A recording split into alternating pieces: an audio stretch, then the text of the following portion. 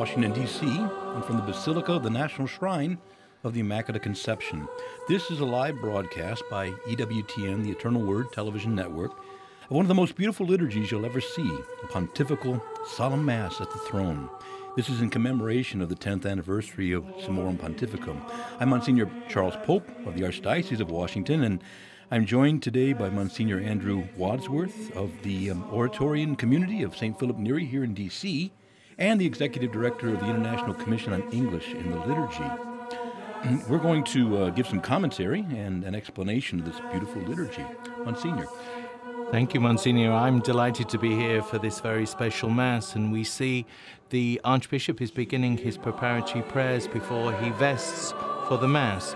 The form of the Mass that we're going to see today, Pontifical Mass at the Throne, is really the form of the Mass of a bishop in his cathedral church at the throne. And this would have been the most solemn form of the liturgy for any bishop of the Latin Rite up until the time of the Second Vatican Council. You know, Monsignor, what we're seeing here is a vestment that most people never see priests put on. So, um, what, uh, what what can we say uh, say about this? I know that uh, Ephesians six says that we should put on the full armor of God, but what's the what the bishop is doing here uh, is, is being vested. So, you perhaps explain that a little bit to us? Yes, the bishop begins by putting on the buskins. These are the special liturgical overshoes that he's going to wear for the celebration of the mass. And while those special covering of the shoes are being put on, he's praying the prayer.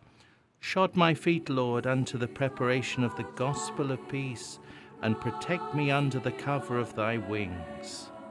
Indeed, you know, and the, the, the full text from Ephesians says again, it says, uh, uh, Stand therefore, having fastened on the belt of truth, having put on the breastplate of righteousness, and as shoes for your feet, having put on the readiness given by the gospel of peace. So, again, this is a, a very biblical as well as a, a beautifully traditional vesting of the bishop. We don't normally see the putting on of the vestments, even of a priest, for the celebration of Mass. So, this is a very privileged moment for us to witness. And the bishop is being vested in a side chapel, in this case, the Chapel of the Miraculous Medal here at the National Basilica. Very appropriate as the Mass that we're going to witness and participate in is a votive Mass of the Immaculate Heart of Mary, which in the older form of the calendar falls on the 22nd of August, the octave day of the Assumption, and is the votive Mass really that is celebrated on the first Saturday of the month. And of course, our Archbishop here is Archbishop Samples, and he is from Archbishop Alexander Sample, and he is from the Diocese of, uh, of um, um, in, in, in, not Seattle, I'm thinking uh, the Archdiocese uh, in Oregon. Um, Portland. Yeah, Portland, Oregon. And um, he was he was born in 1960, and um, he got a metallurgical engineering degree in 1984. but he was ordained in 1990, and he became the, di- the diocese of Marquette. Uh, he joined that uh, for that diocese. He studied canon law, and then uh, he became the bishop of uh, of Marquette in 2005, and was sent to Portland in 2013. And we now see the Archbishop wash his hands, which also begins the vesting process for a priest in preparation for Mass, and as he washes his hands, he prays, Give strength to my hands, Lord, to wash away every unclean stain, that I may be able to serve thee without defilement of mind or body. As the Archbishop is vesting, we are listening to the Schola Cantorum of the Lyceum School from South Euclid, Ohio, and they, they are singing a number of motets in preparation for the Mass, and their singing accompanies the act of the Archbishop's vesting. He now stands to, to remove his pectoral cross and mozzetta before the rest of the vesting continues. Somebody might ask um, Monsignor, you know, why why a bishop just doesn't put his own vestments on. Um, why should he be assisted in a way that normally priests are not? Well, I think this is part of the solemnity of a full pontifical function. And in antiquity, even in the secular world, great leaders and rulers were vested publicly, assisted by others. And this is something which the Church has inherited that underlines the importance of the pontifical act that we're going to witness. So the bishop is assisted with each of the vestments. Now, the amice, which is the first of the, of the sacerdotal vestments, uh, a linen rectangle which in ancient times covered the hood or caboose of those who were, were monks, and now is touched upon the head of a priest or a bishop as, as he begins to vest. And as this vestment, the am- amice, is placed upon him, he prays, Place the helmet of salvation, Lord, upon my head, to overthrow all the deceits of the devil, prevailing against the cunning of all enemies. Once again, we're still in St. Paul's letter to the Ephesians, that prayer taken from chapter 6.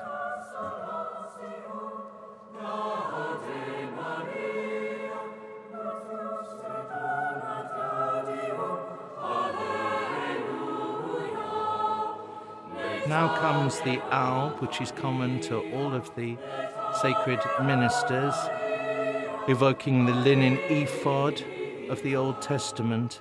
As the Archbishop puts on the alb, he says, Wash me clean, Lord, and cleanse me from my sin, that I may rejoice and be glad unendingly with them that have washed their robes in the blood of the Lamb. This prayer, of course, evokes the seventh chapter of the book of Revelation. Now he girds himself with the cincture, praying, Gird me, Lord, with the belt of faith, my loins with the virtue of chastity, and extinguish in them the humour of lust, that the strength of all chastity may ever abide in me. The Archbishop is now receiving his pectoral cross. Interesting to note that the cross that he wears today was the gift of the Institute of Christ the King, Sovereign Priest, when Archbishop Sample um, officiated at the subdiaconate ordination of uh, the order in Gricigliano in 2012. Interesting to note that one of the subdeacons he ordained that day is assisting him today as subdeacon, Canon Andrew Todd. And the Archbishop prays, Deign, Lord Jesus Christ, to guard me from all the snares of every enemy by the sign of thy most holy cross.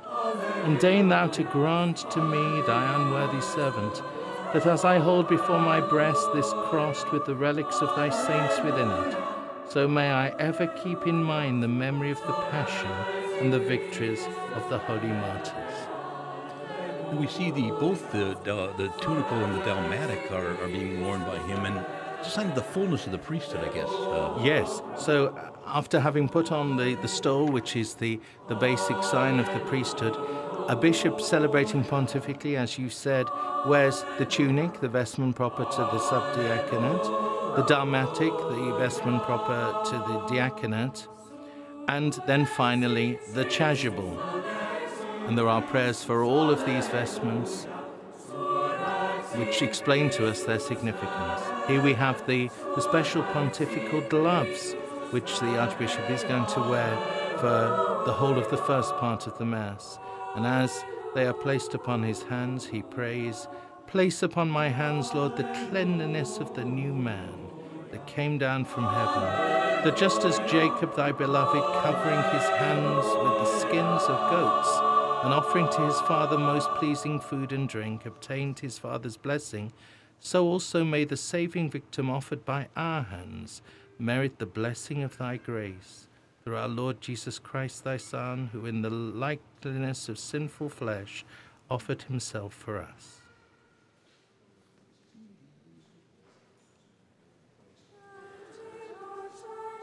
Beautiful chasuble. So the, the final vestment is the chasuble O Lord, who said, My yoke is sweet, my burden light, grant that I may be able to bear it, so that I may be able to obtain thy grace. You know, I, I have to say that in a certain sense, these vestments do look cumbersome, and we it sort of reminds us uh, of, of the Mass as a sacrifice. And uh, also, all the assistance that he's being given also helps him to pray and stay focused. And I would say it's also, I'm sure, a sign of great humility to actually be dressed. Um, th- th- these things help the, the bishop to be more prayerful and also to bear the weight of the office. He has so many there to assist him. That's the case. Yes, so he's just received the the ring, the ring which he received on the day of his consecration as a bishop back in the year 2006 when he was consecrated Bishop of Marquette. And finally, the mitre, perhaps the most obvious symbol of a bishop's office. Place upon my head, Lord, the mitre and helmet of salvation, that I may go forth unhindered against the snares of the ancient foe and of all my enemies. Now, there's a priest standing near him with a cope. Uh, he just went out of range there. This would be the, um, uh, you know, the, the, priest who would be assisting him. Why don't you say a little bit about? Yes. So, go. in the most solemn form of the pontifical liturgy, the the bishop is assisted by a priest in cope who is perhaps his his most personal assistant. So, as you see here, assisting with the putting on of the incense before the procession for the beginning of the Mass forms up.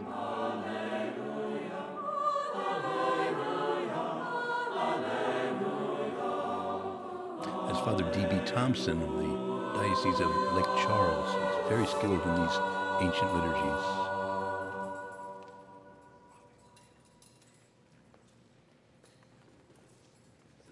Finally, the Archbishop is brought to the crozier. On this occasion, the crozier of Bishop Thomas Joseph Shahan, the founder of this Basilica Church. An auxiliary bishop of Baltimore, Bishop Shahan was the fourth rector of the Catholic University of America and has the distinction also of being the only person to be buried in this basilica. His tomb is in the first chapel as you enter the crypt on the right. Bishop Shahan, born in 1857 and died in 1932.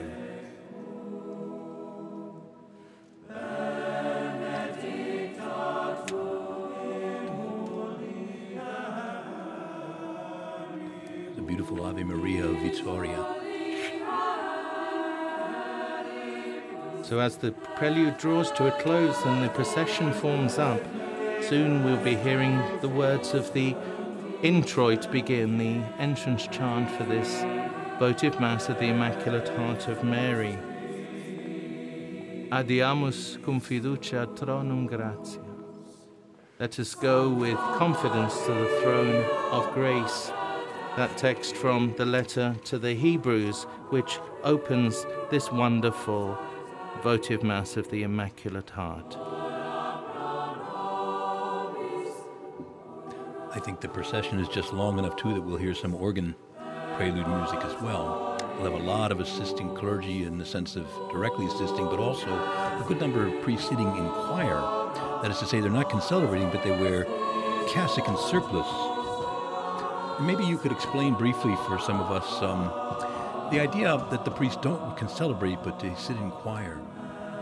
Yes, um, the idea of, of concelebration in the form that we know more recently is, is an innovation following the Second Vatican Council. In the past, there was a form of what might be described as ritual concelebration, where people were present in the sanctuary wearing the vestments that were proper to their rank, but without necessarily a ritual participation in the action.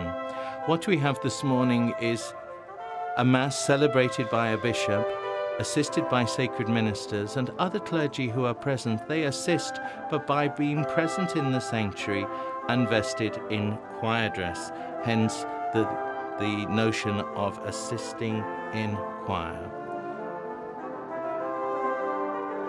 You note the two deacons on either side of him now will be the deacons who assist him at the throne, and their dalmatics are a little bit different uh, than the, um, the, the, the other deacons will assist at the altar, but basically there are four deacons assisting him.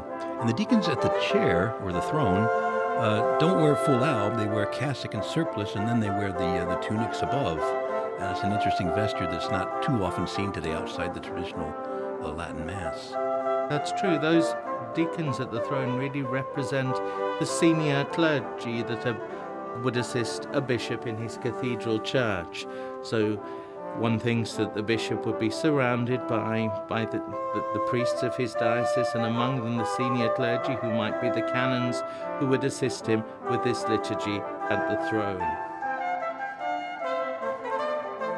We're listening to a rather wonderful piece of brass music by way of an introduction to the procession, once again underlining the solemnity of this occasion get a little glimpse of the Trinity Dome up through the middle there that was just completed this past year.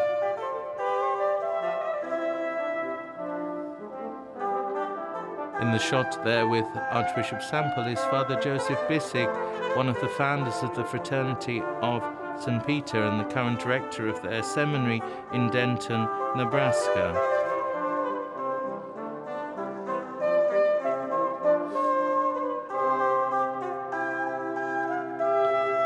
There's a detail shot of the new Trinity Dome.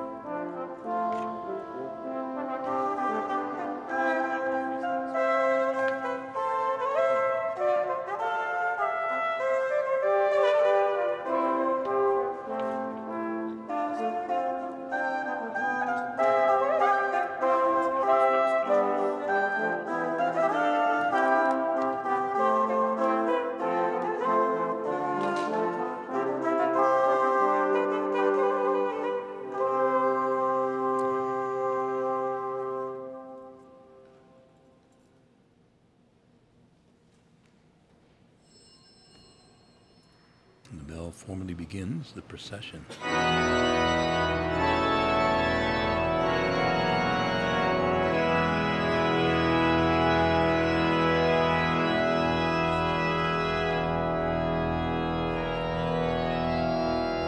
At the beginning of the procession, we have members of various orders of chivalry knights and dames of the Order of Malta and the Constantinian Order of St. George.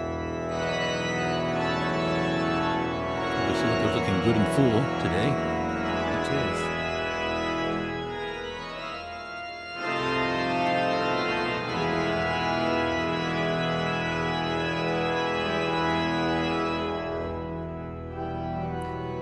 The presence of these uh, orders is uh, just a reminder to us of the great dignity of the celebration of this uh, the, the Mass with the bishop. And although these could be done in parish churches, uh, Monsignor, to be done in a large uh, basilica, as this meant, brings people from all over and um, adds to the solemnity and the great and grand beauty of these, these magnificent liturgies. Well, what more could one want than the majesty and grandeur of this great church? We see the many servers who are also uh, assisting in, in choir and clergy. You'll note that this crucifix is carried not by a regular server, but by one who's called the subdeacon of the cross, and that's Father Ernest Sibeli, and he's pastor of St. Mary's Church in Hagerstown, Maryland. Um, in these pontifical liturgies, it's, it's common to have clergy fill in roles, or sometimes just regular altar boys fill in uh, at other masses, and uh, it's again a sign of the great dignity of this uh, this great liturgy.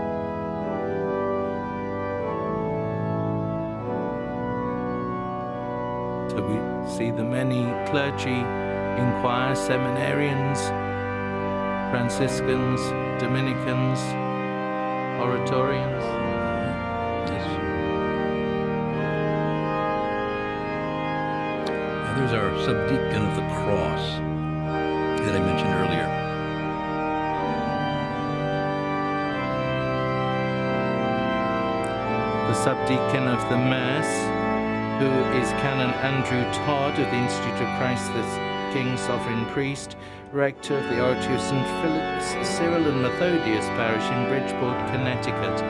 You'll notice that in the Book of the Gospels, the subdeacon carries the maniple which the Archbishop will take the last of the vestments to, to be put on after he has uh, said a short prayer following the Confiteor. The Archbishop, flanked by his two deacons of honor, we've already mentioned Father Bissig. The other deacon of, of honor is Canon Matthew Tallarico, also of the Institute of Christ the King, Sovereign Priest, Chicago, Rector and Provincial Superior Of course, all of today's ceremony is under the direction of Father Zachary Akers of the Fraternity of St. Peter.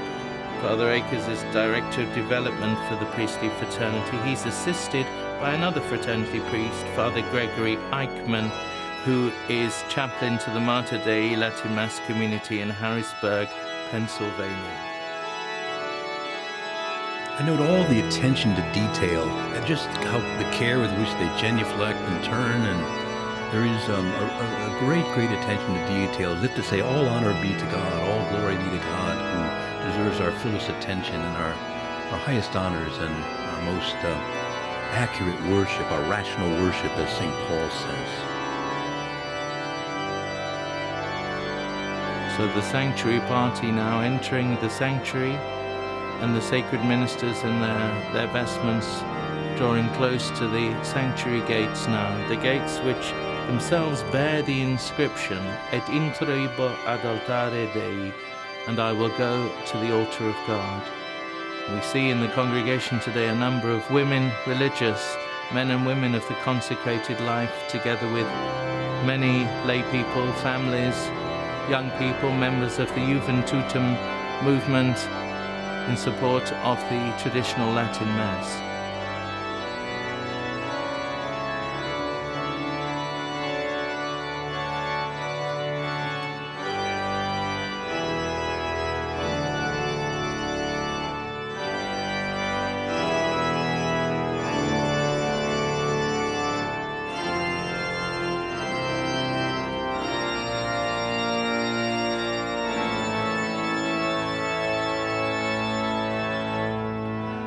Deacon of the Mass is Father Gregory Pendergraft of the Fraternity of St. Peter, pastor of St. Stephen of Hungary Parish in Allentown, Pennsylvania. You can see both the, the newer altar that's used uh, for the uh, ordinary form masses um, there. It's also used by the Pope for the first time and it's been placed there. But of course, they'll be using the high altar with the baldacchino in the back and um, for these great traditional Latin masses, um, this is certainly the altar that was built originally at that period for those for those liturgies. Yes, the new, the newer altar was, as you say, Monsignor, used by Pope Francis on the 23rd of September 2015 at the Mass he celebrated outside this basilica, which included the canonization of St. Junipero Serra.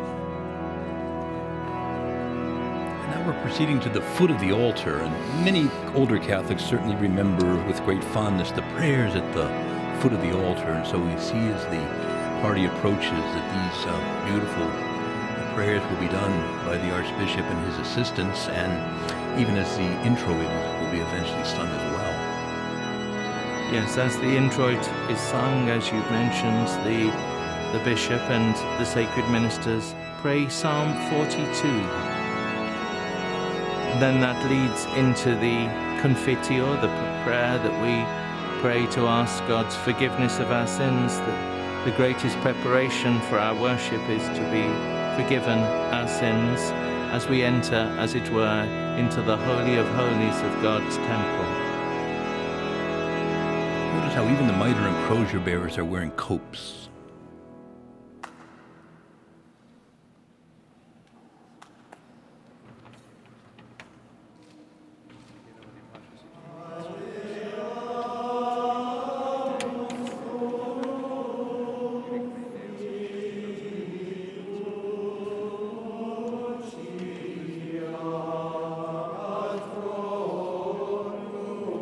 Let us go with confidence to the throne of grace, that we may obtain mercy and find grace in seasonable aid.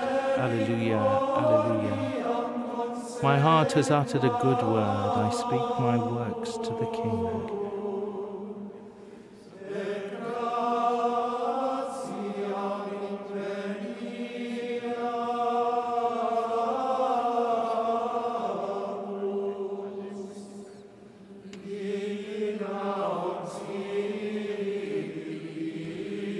Archbishop now prays the Confiteor.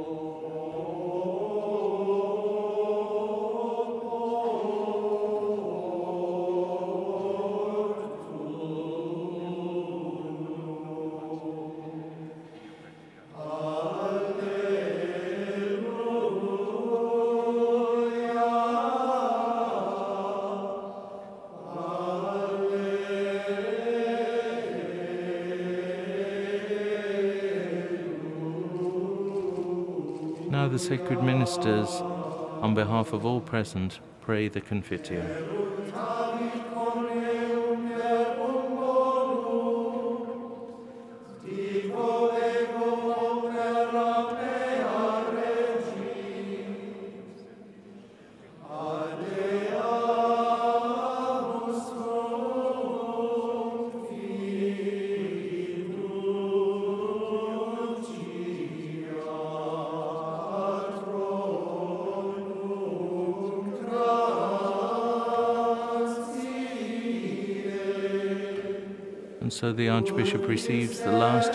The maniple. Originally little more than, than a cloth carried on the arm, now stylized into one of the liturgical vestments. Its use became optional following the Second Vatican Council.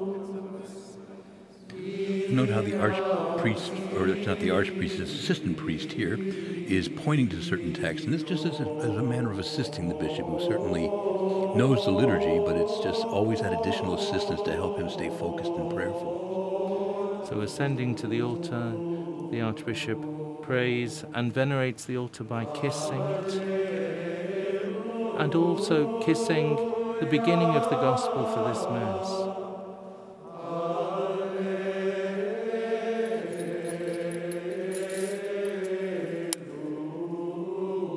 The dignity of the altar is recognized by the incensation now of the altar.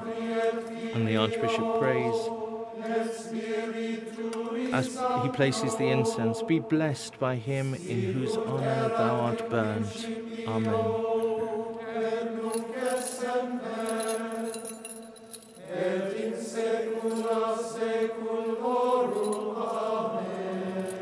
This is another thing that we often see in, the, in older form of the liturgy, which is the kissing of things that are handed to the bishop, the kissing of the bishop's hand and uh, of other objects. And uh, again, uh, just a sign of reverence for both the sacred objects, but also for the for the office of high priest. In the traditional liturgy, everything which is concerned with the liturgy, every object, every person is treated with special respect being part of the, the action which brings about God's blessing.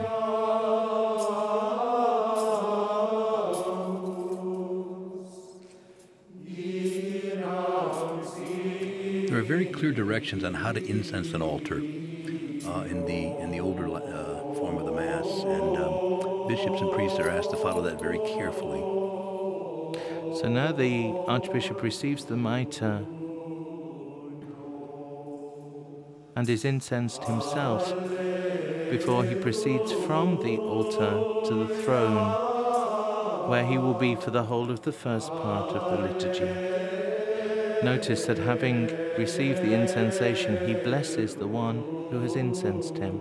It's a characteristic of the pontifical liturgy that all of those who serve receive a blessing on offering their service. Maybe we could say a word while they proceed to the throne about saying Mass in an ancient language that very few people know actively. You know, I want to just say that even in Jesus' time, really in the synagogue and in the temple, much of the much of the liturgy there was conducted in, in ancient Hebrew, and people didn't speak that any longer. There's a there's a certain instinct, isn't there, Monsignor, to conducting sacred liturgies in, in, something other than just the ordinary language that's spoken. That's right, the sense of a hieratic or sacred language. Pope St. John the 23rd quoted Pope Pius 11th in summarizing this particular idea when he said, In order that the Church may embrace all nations, and that it may last until the end of time, it requires a language that is universal, immutable, and non vernacular. We recall that of its very nature, Latin is most suitable for promoting every culture among diverse peoples, for it gives no rise to jealousies, it does not favor one group above another, but presents itself with equal impartiality, gracious and friendly to all. Even the Constitution on the Sacred Liturgy, the first document of the Second Vatican Council, Sacrosanctum Concilium, reminds us that Latin is to be preserved in the Latin rites. We're hearing now, uh, even as you speak of Latin, the choir is singing in Greek, uh, the Kyrie, and um, this is a, a, beautiful liturgy by uh, by uh, Thomas Luis Victoria, a priest and composer of the 16th century, and this is uh, called the Missa Salve, and it's, it's an eight part Mass. It's actually two choirs singing antiphonally across the gallery here in the Basilica. While they sing, the Archbishop recites the text of the introit that we've already heard sung and says the Kyrie in alternation with the sacred ministers, reminding us that the official language of the Church for much of its third, first three centuries was in fact Greek.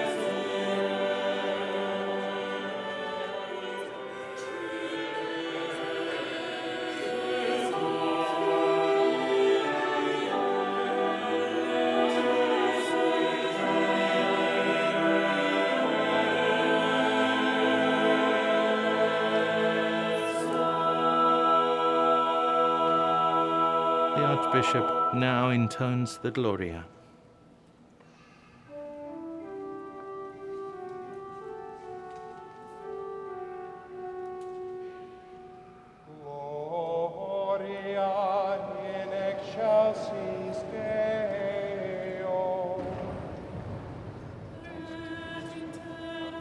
This hymn, first heard on Christmas night, the Song of the Angels, is taken up by the choir once again singing the Missa Salve of Thomas Luis de Victoria.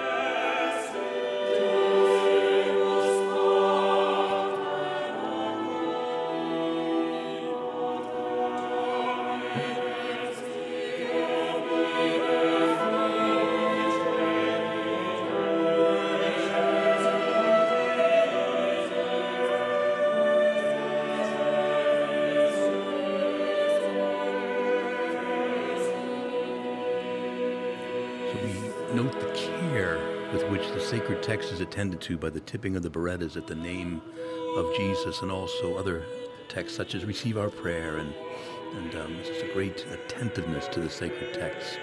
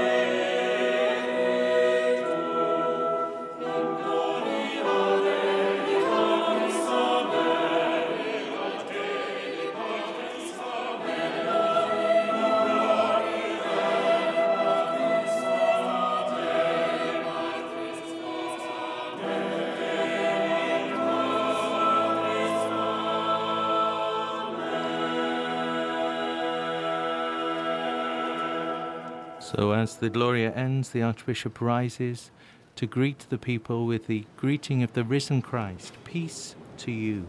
Pax vobis. He then sings the collect.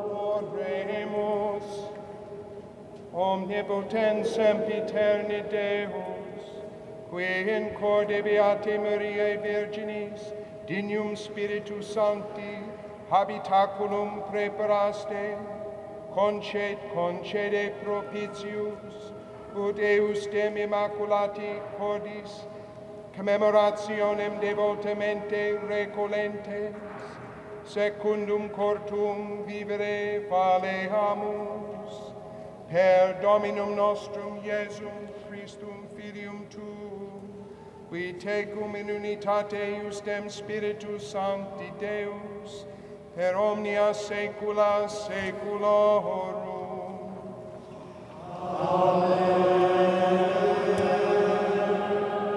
Almighty everlasting God, who didst prepare in the heart of the Virgin Mary a dwelling worthy of the Holy Ghost, mercifully grant that we, devoutly contemplating the commemoration of that Immaculate Heart, may be established to live according to thine own heart. Through our Lord Jesus Christ. We now hear the subdeacon sing the epistle, which is from the book of Ecclesiasticus.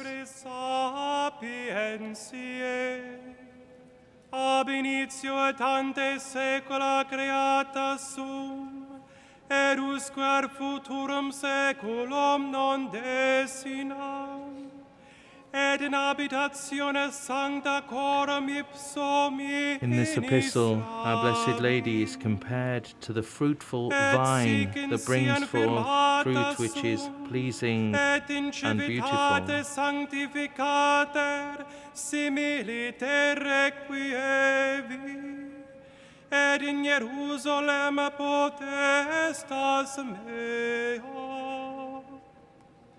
et in populo et in parte Dei mei ilius et in plenitude de sanctorum mea. Having performed his service of singing the epistle, the subdeacon approaches the throne to receive the blessing of the Archbishop.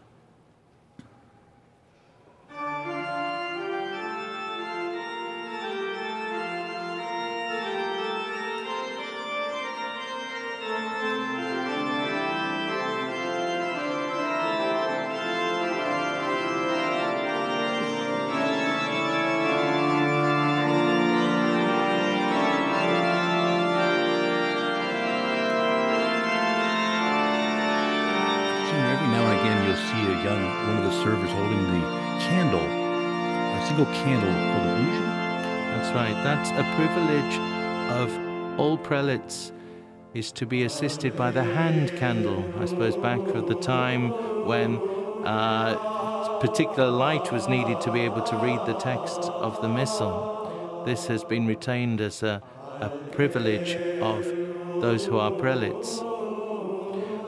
The Archbishop is now reading the text of the chants which follow the epistle, which in Eastertide are two Alleluia chants. My soul doth magnify the Lord, and my spirit hath rejoiced in God my Saviour. All generations shall call me blessed, because God hath regarded the humility of his handmaid. The Gospel borne by the deacon is taken to the altar, and the preparation for the proclamation of the Gospel.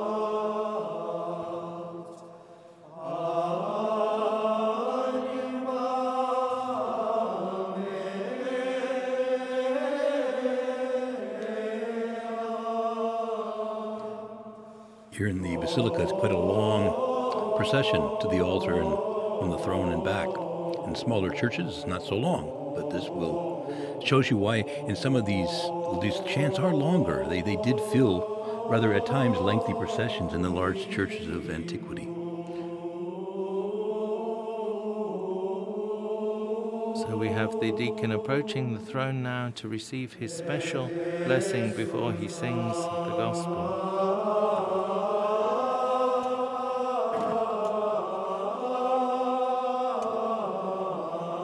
He asks the Archbishop's blessing. And the Archbishop replies, The Lord be in thy heart and on thy lips, that thou may worthily and in a becoming manner announce his gospel, in the name of the Father, and of the Son, and of the Holy Spirit. Amen.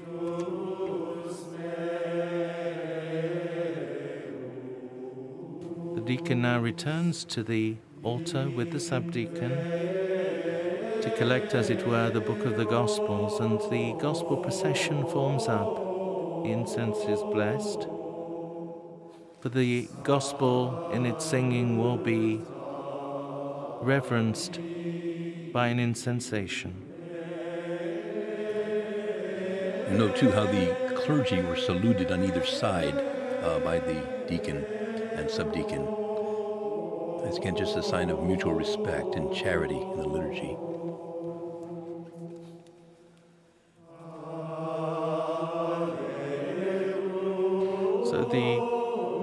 Deacon kneels to make his own prayer preparation, and he prays, Cleanse my heart and my lips, O Almighty God, who didst cleanse the lips of the prophet Isaiah with a burning coal. Through thy gracious mercy, so purify me that I may worthily proclaim thy holy gospel. Through Christ our Lord. Amen. And so now the sacred ministers proceed to the place of the singing of the gospel.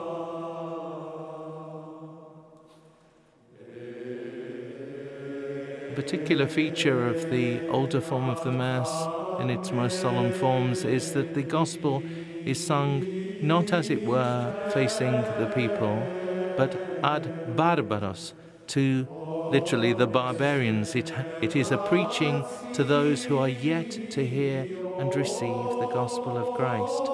So you'll see that the deacon actually is turning to one side in the singing of the gospel.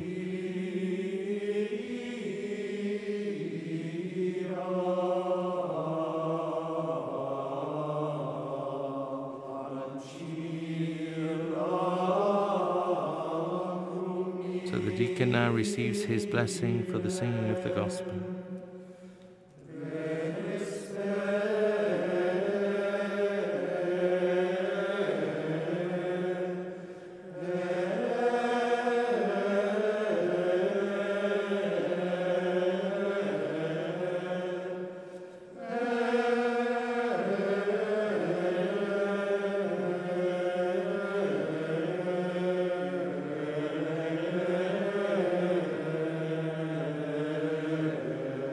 Gospel we hear at today's Mass is that which narrates the scene of Our Blessed Lady at the foot of the cross.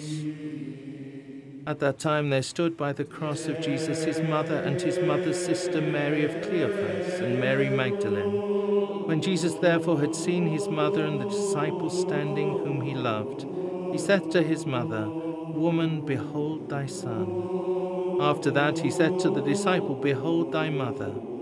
And from that hour the disciple took her to his own.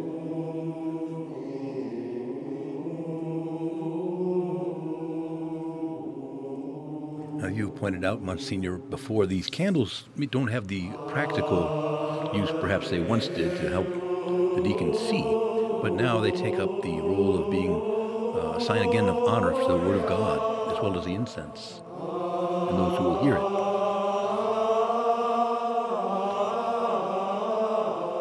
Those present reverence the words of our Lord in the Gospel by standing for the singing of the Gospel, whereas up until now everyone has been seated.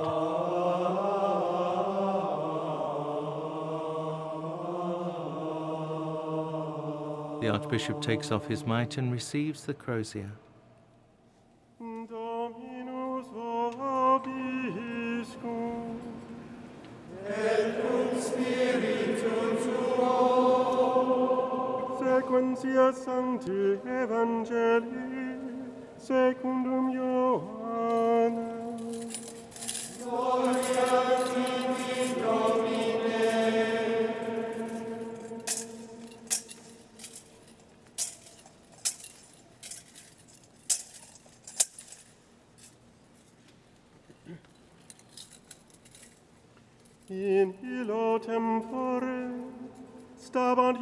crucem Iesu Mater eus, et soro matris eius Maria Cleove, et Maria Magdalene, cum vidis et ergo Iesus Matrem, et discipulum stantem quem dirigebat.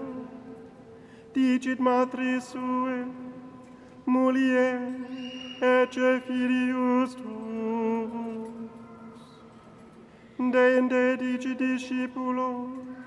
Mater tua.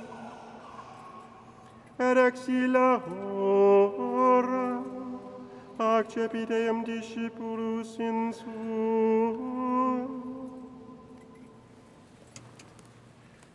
The singing of the gospel completed, the deacon brings the book of the gospel to the throne so that the archbishop may himself reverence it. He does so by kissing the book of the gospels, saying, By the words of the gospel may our sins be blotted away.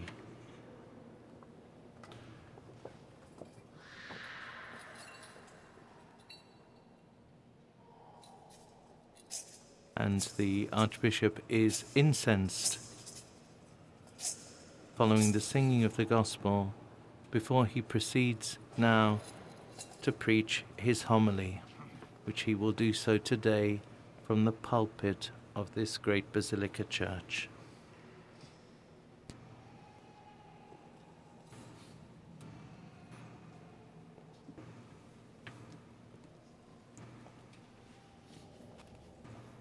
Bishops retain, of course, the option to preach from the chair, um, but uh, the uh, Archbishop uh, Samples has today chosen to, as you say, preach from the pulpit, and um, it. Uh, in times, you know, again, in, in, ancient times, sometimes pulpits were halfway down the church. Again, remember there were no microphones, and uh, so there were different different ways that, that people and the bishops would and the clergy would preach. Um, sometimes, again, going halfway down uh, so that people could hear.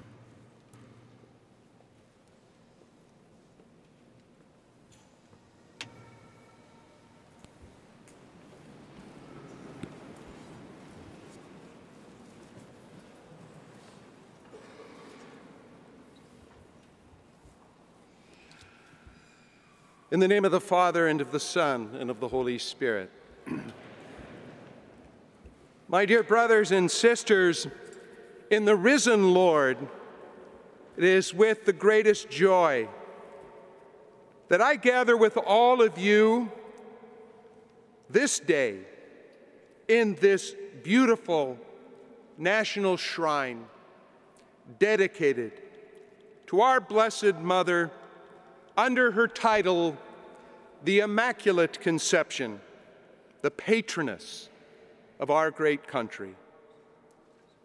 We are in Mary's shrine, and we are all filled with gratitude and joy. We celebrate today this Holy Mass in honor of the Immaculate Heart of the Blessed Virgin Mary. We are all sinners.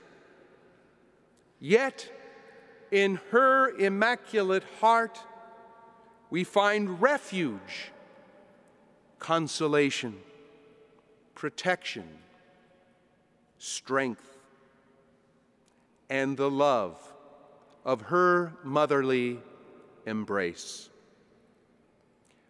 Just as Holy Mary stood at the foot of the cross of our divine Savior, where her heart was pierced with the sword of sorrow, so she stands by us today. And at the foot of this altar, as we sacramentally represent the once for all sacrifice of Christ. As the Second Vatican Council's document on the sacred liturgy reminded us, referencing the teachings of the Council of Trent, Christ, who formally offered himself in a bloody manner on the altar of the cross, is now offered in a sacramental and unbloody manner in the holy sacrifice of the Mass. And his Holy Mother joins with us in this offering in the great communion of all the saints. We also gather to celebrate the 10th anniversary of the great gift our beloved Pope Emeritus Benedict XVI left to the Church in his motu proprio Summorum Pontificum. Dear Holy Father, I know I speak on behalf of all gathered here, those watching this broadcast live through EWTN and many others, when I say thank you for your wisdom, foresight, and pastoral generosity in allowing the usus antiquior of the Roman Rite to once again flourish in the universal church. As we gather here today in this magnificent basilica, one cannot help but notice the very large presence of young people who have come to participate in this Holy Mass. I have met a good number of you personally. You are a sign, a great sign, of encouragement and hope for the church, tossed about these days on the troubled waters of secularism and relativism. As they say, you get it. You understand your place in the world and in the church to help rebuild a culture of life in society and a renewal of Catholic culture within the church herself. Over the years, since the release of Summorum Pontificum, I have heard many in the church including priests and bishops, express puzzlement and dismay over why so many young people are attracted to this venerable form of the Roman Rite. They say things like, I just don't understand it. How could they be so attracted to a form of the liturgy that they did not grow up with or ever experience before. If the comment has been directed to me, I have often responded, that is exactly the question you should be asking. Why are they attracted to this liturgy? Or perhaps more pointedly, what is it that this form of the Roman Rite provides for them that their own experience growing up with the ordinary form did not provide? For this will give us an insight into what future liturgical development might look like. Now, I do not want to be misunderstood. I am not at all calling into question the liturgical reform that was actually called for by the Second Vatican Council. Nor am I calling into question the legitimacy, the validity, or even the goodness of the missal promulgated by Blessed Paul VI. But perhaps in the actual implementation of the Council's directives, not everything that occurred has borne good fruit. And certainly, through liturgical abuses, other aberrations, or simply a poor ars celebrandi,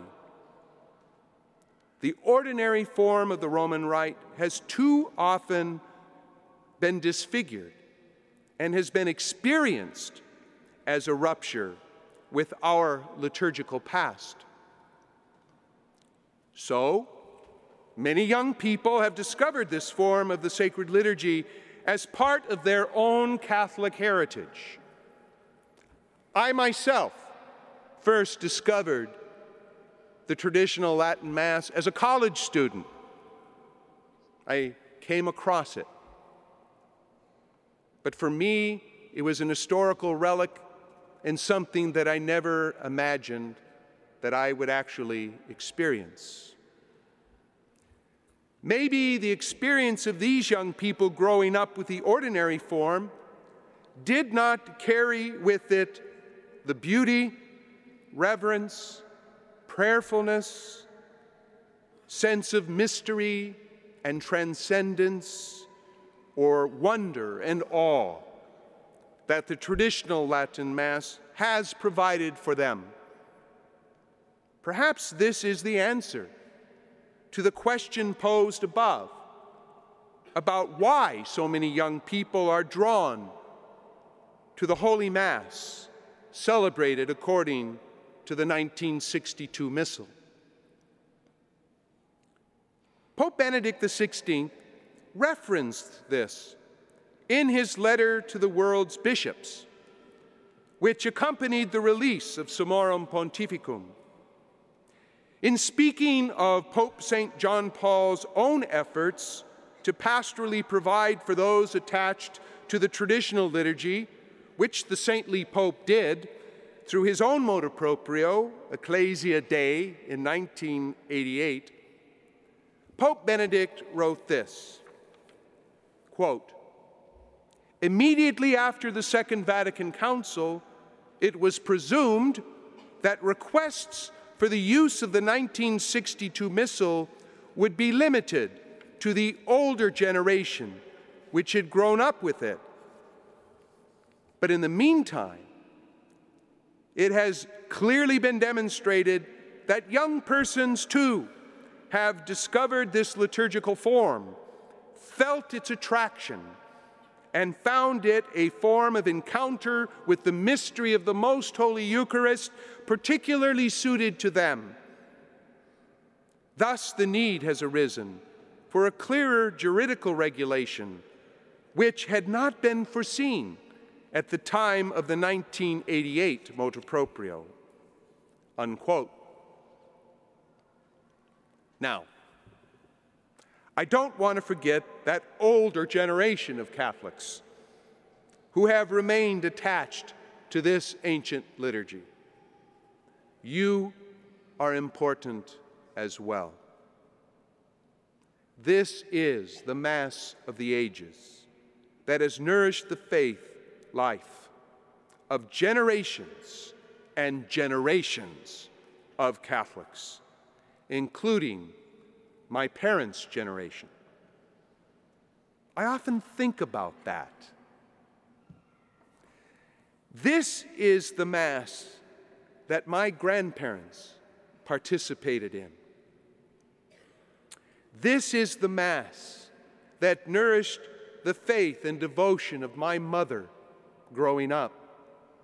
God rest her soul. This is the Mass that drew my father to the church and helped fuel his conversion. This is the Mass that has produced saints. I believe one of the most important phrases in the letter of Pope Benedict XVI referenced above is this quote, There is no contradiction between the two editions of the Roman Missal. In the history of the liturgy, there is growth and progress, but no rupture. What earlier generations held as sacred remains sacred and great for us too. And it cannot be all of a sudden entirely forbidden or even considered harmful. It behooves all of us to preserve the riches which have developed in the church's faith and prayer and to give them their proper place. Unquote. As we continue our celebration of the 10th anniversary of Summorum Pontificum, I watch, wish to touch upon one final point. This has to do with the positive motivation of the Pope Emeritus in issuing the motu proprio. He said that it is a matter of coming to an interior reconciliation in the heart of the church. During my ad limina visit to Rome in the year 2012, and during our visit with Pope Benedict XVI, I had the opportunity to thank him for the gift of Summorum Pontificum. He responded at length to my intervention, beginning by saying that he had issued the motu proprio in order to reconcile the church with her past.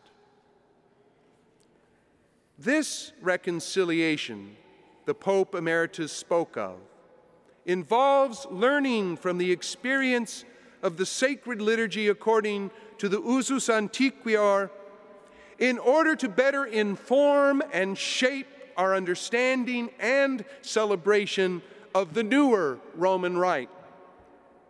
With both liturgies flourishing side by side, there could be a mutual enrichment of the two forms of the one Roman Rite, perhaps leading to further liturgical development and progress. After mentioning some ways in which the Roman Missal of 1962 could be enriched by the newer Roman Missal, Pope Benedict said this about how the more ancient form of the liturgy could enrich the newer form. Quote, the celebration of the Mass according to the Missal of Paul VI will be able to demonstrate more powerfully than has been the case hitherto the sacrality which attracts many people to the former usage. The most sure guarantee that the Missal of Paul VI can unite parish communities and be loved by them consists in its being celebrated with great reverence, in harmony with the liturgical directives. This will bring out the spiritual richness and the theological depth of this missal. I believe this is a key to interpreting Pope Benedict XVI's desire, namely, that the flourishing of the more ancient form of the liturgy, with its beauty reverence, and sacredness will cause a natural development and enrichment of the way in which the newer Mass is celebrated. As he says, there cannot and should not be a rupture between the two forms. One must be able to recognize the older Roman rite in the newer. I often get the impression that many people in the church live their lives as if the church sort of hit a reset button at Vatican II, and that the past no longer has relevance, especially regarding the sacred liturgy. There must be further liturgical growth and development along the lines of a hermeneutic of continuity with the past and any experience of rupture must come to an end. May it be so. And so, my dear brothers and sisters, let us give thanks to God for the life, pastoral ministry, and courage of Pope Emeritus Benedict XVI, let us thank the Lord for Pope Benedict's gift to us, the greater celebration and availability of the usus antiquior of our common heritage in the Roman Rite. Let us pray for Pope Benedict XVI, that the Lord grant him peace and joy during the time the Lord allows him to be on this earth praying and sacrificing for us. We take our prayers and gratitude now to that greatest of all acts of thanksgiving, the celebration of the most holy Eucharist. Let us go unto the altar of God. In the name of the Father, and of the Son, and of the Holy Spirit.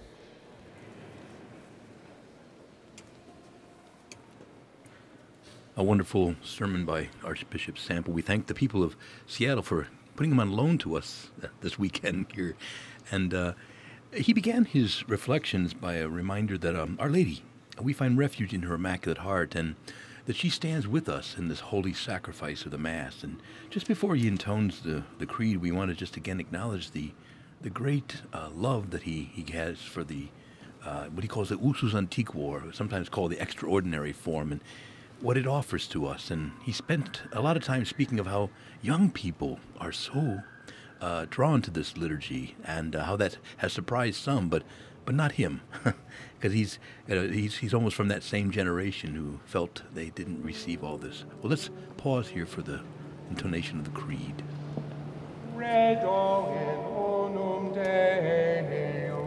the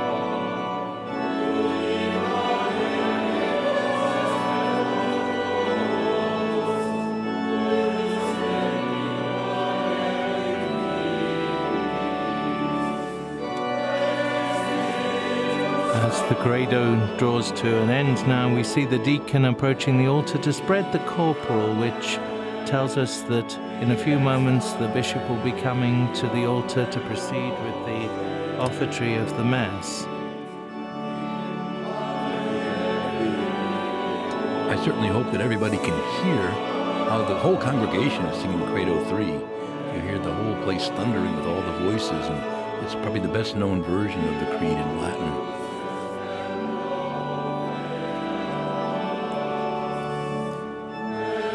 I was saying earlier that I was happy that the uh, Archbishop used the term usus antiquior, uh, the uh, antiquior, because sometimes I think extraordinary form and ordinary just hasn't stuck. Uh, but the older form, that's basically what it means, the older usage. But it's, uh, I'm so happy that he emphasized there is to be no rupture, but rather uh, that, uh, that this beautiful form of the liturgy should be a great recovery of some of the things that have been left behind, not so much by the Mass, but by our culture, and um, help to inform uh, both forms of the liturgy can, can have good influence. And we thank God for this option that the Holy Father insisted that we have always had to celebrate this beautiful form of the liturgy.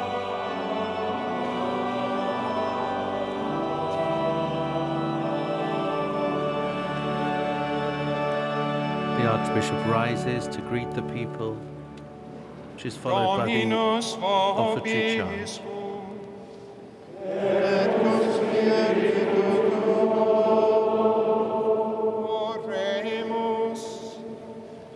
My spirit hath rejoiced in God my Saviour, because he that is mighty hath done great things for me, and holy is his name. Alleluia.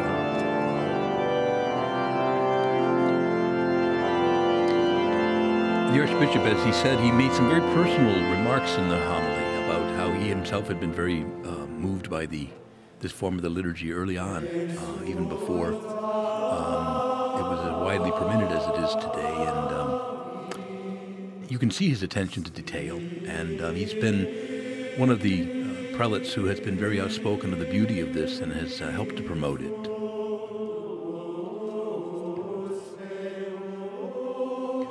Now, as we go to the altar, Monsignor, I want to ask you, uh, maybe we could reflect together for a minute, the idea of facing to the east.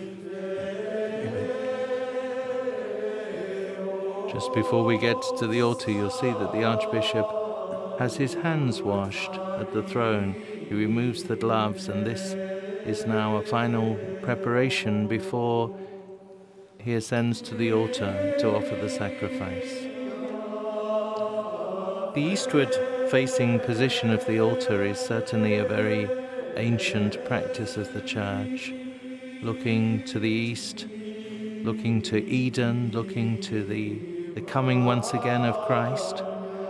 The idea that we are all facing the same direction, that we are turned, as it were, to the Lord, is an idea that St. Augustine was greatly inspired by. In fact, he mentioned this at the end of many of his homilies that the direction of the liturgy is to God, that all of our prayers, all of our offering is to Him. And the ancient idea is that that was best expressed by everyone facing eastward, or at least, if not the compass east, the liturgical east.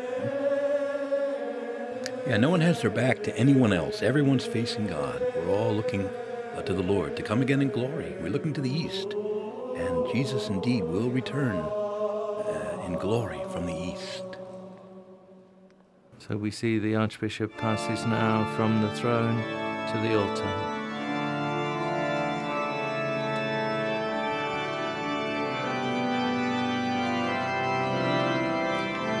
Things we've noticed, Monsignor, is that he has two different miters. One is very ornate and the other is beautiful but not less ornate. He's wearing the very ornate one now. He wore a different one when he preached. Yes, he wears the, the more ornate mitre for the various processions at the beginning, at the end of the Mass, the procession now to, to the altar, and the less ornate but golden mitre for the rest of the Mass. You mentioned at an earlier point that often, particularly in the great cathedrals, the distance covered in these processions was quite considerable. We hear the choir begin the Ave Maris Stella of Claudio Monteverdi. This is the Vesper hymn common to the office of Our Blessed Lady. From the great Vespers that he wrote. These um, this type of music um, comes from parts of Europe again where large churches predominated. And in Vienna, of course, there was the beautiful St. Mark's, and sometimes four choirs singing back and forth across the gallery, and in the larger Roman churches too. And these uh, this kind of colossal sound, it's called. And you hear sometimes sackbuts and other trumpets giving support, and it's a, it's a great, great celebration of of joy in the presence of the Lord. As the Archbishop prepares now to offer the sacred host and to pray for the blessing of the chalice which will be mixed in just a moment. All of these prayers, which for the most part date from the, the Middle Ages, are very expressive of the sacrificial nature of the Mass.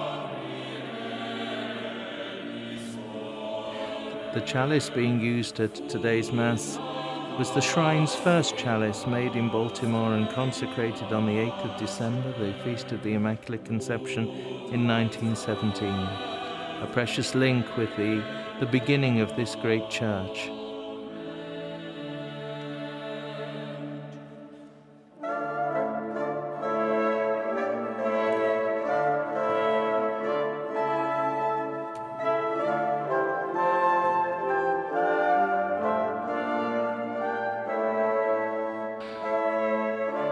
Much of what happens at the altar, of course, is not seen by many people in the congregation, but who are participating nonetheless, following the action of the Mass that they know is taking place at the altar. The mixing now of the chalice, the deacon pouring the water, the subdeacon, the small quantity, sorry, the deacon pouring the wine, the, the subdeacon, the small quantity of water. That's that little drop of water which represents our humanity the Archbishop prays that just as Christ took upon himself our humanity, we, we may come to take upon ourselves his divinity. Bowing down, the Archbishop prays, In a humble spirit and contrite heart may we be received by thee, O Lord, and may our sacrifice be so offered in thy sight as to be acceptable.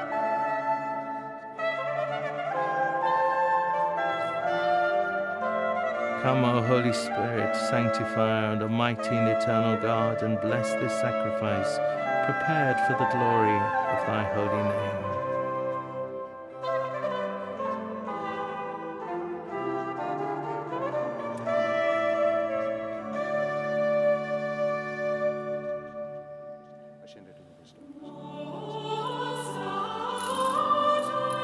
So the the gifts are to be incensed, and then the altar incensed, and then all present, beginning with the celebrant, the Archbishop, are incensed.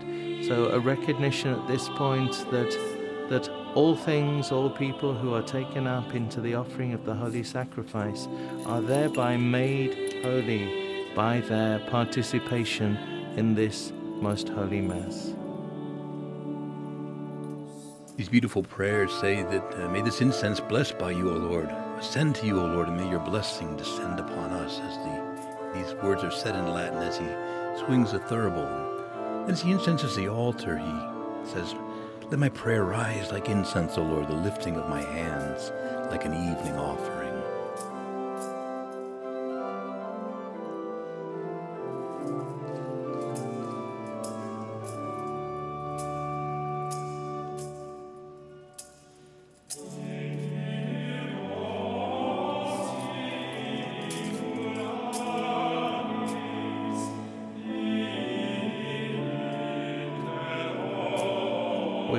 Wonderful choir of this national basilica providing the polyphony of Victoria's Mass and at this moment the Ave Maris Stella of Monteverdi's Vespers.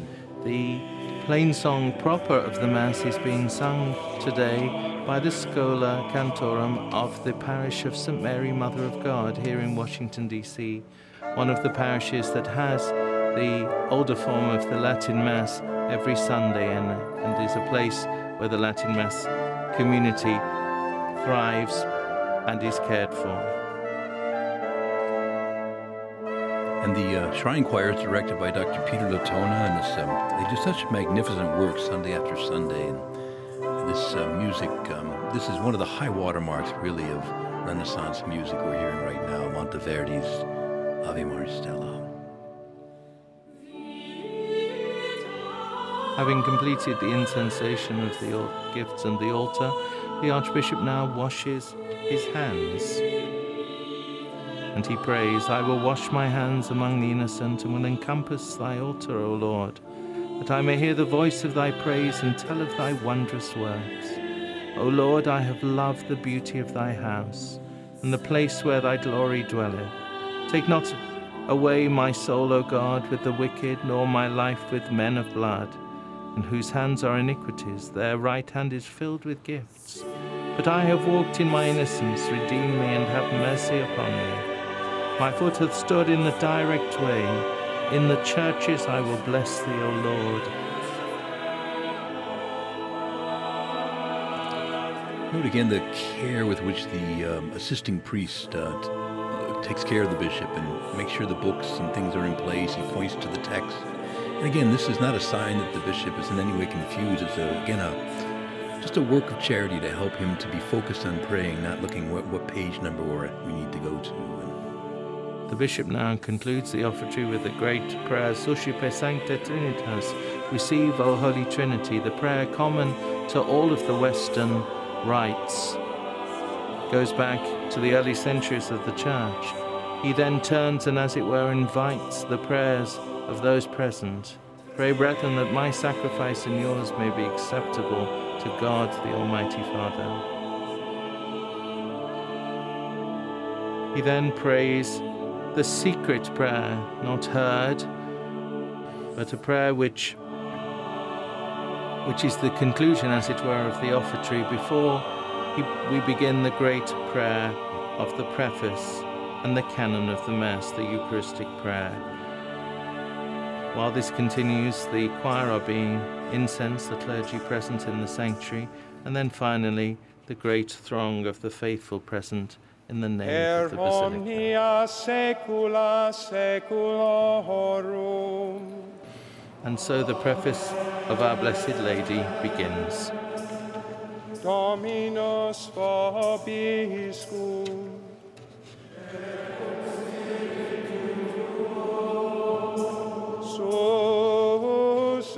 Corda.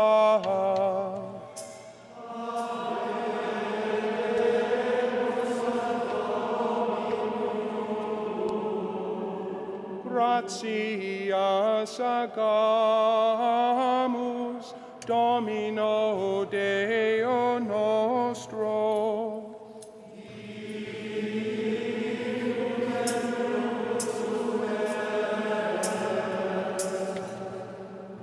Vere dignum et justum est, ecum et salutare, nos tibi semper et ubique gratias agere, Domine Sancte Pater, omnipotens aeterne Deus, et in veneratione Beate Mariae semper Virginis collaudare, benedicere et predicare,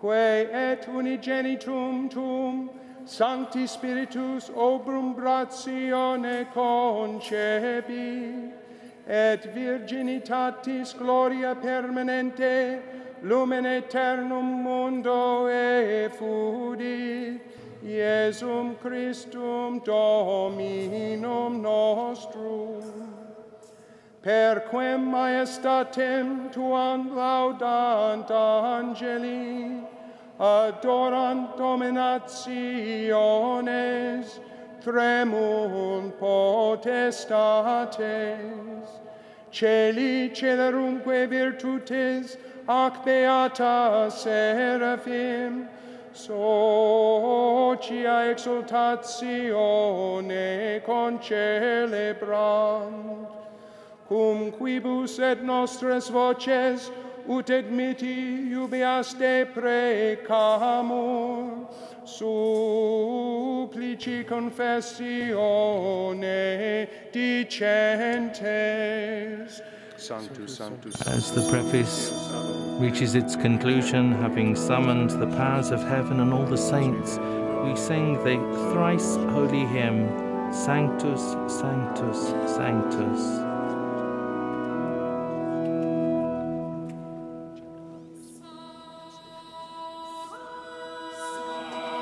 While the Sanctus is being sung, the Archbishop continues with the canon of the Mass, the Eucharistic prayer, which in the earlier form of the Mass is that prayer which we know as the Roman canon, the first Eucharistic prayer. I might also say here, um, Monsignor, that some people say, well, I can't hear the priest praying when the old Mass is being said. And again, remember that this prayer is wholly directed to God the Father. It is, um, God is neither deaf and he knows Latin. And um, this prayer is directed to God. And although there is a value in perhaps us hearing, the, the older form tended to treat it almost like an, a, a verbal iconostasis. The priest goes behind and speaks to God on our behalf.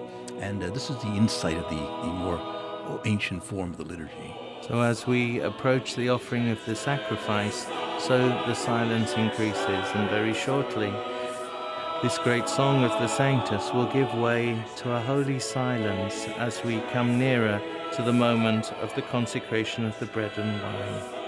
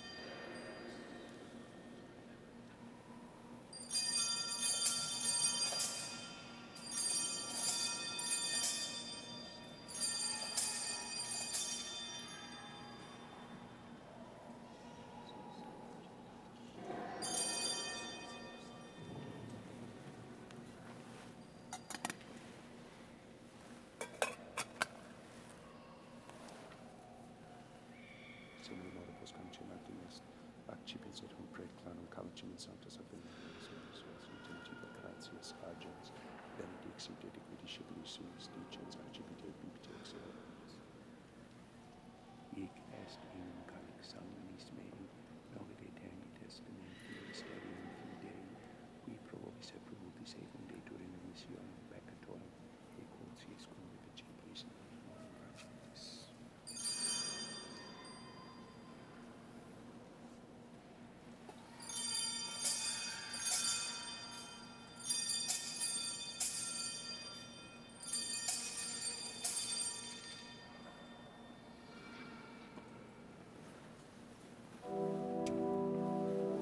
Immediately following the elevation of the chalice containing the precious blood,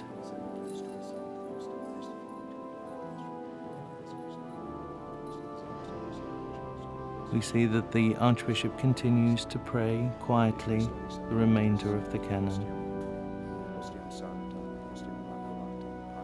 traditional also to sing the Benedictus, which is often sung together with the Holy Holy today, but often in the older rite it's, it's, it's split.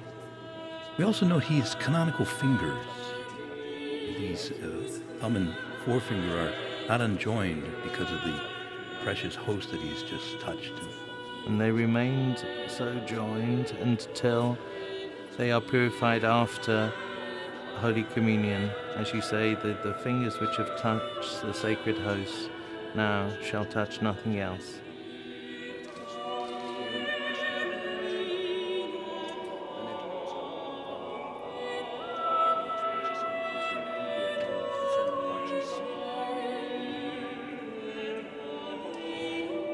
Prayers which follow the consecration, the bishop prays that the effects of the holy sacrifice will be evident not only in the life of the church, but also in the sanctification of the world. We ask God to look kindly upon the sacrifice which is offered, which is, of course the sacrifice of His Son. By the mystery of the Mass, the same sacrifice which Christ offered on Calvary, the sacrifice of Himself, is made present to us, and we are made present to that sacrifice. As the canon reaches its conclusion, the bishop prays through him and with him and in him, unto thee, God the Father Almighty, in the unity of the Holy Spirit, all glory and honor. Per omnia saecula saeculorum.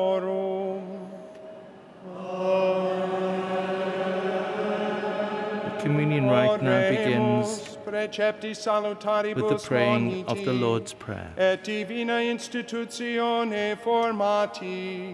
Autemus dicere, Pater noster, qui es in celis, sanctificetur nomen tuum, adveniat regnum tuum, fiat voluntas tua, sicut in cielo et in terra.